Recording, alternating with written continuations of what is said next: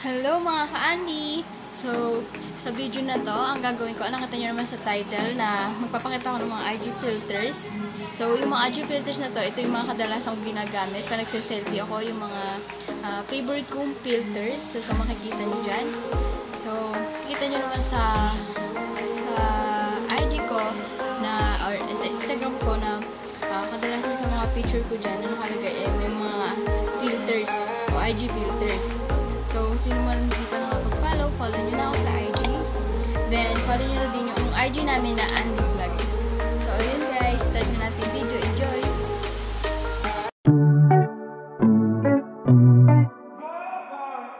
Thank you.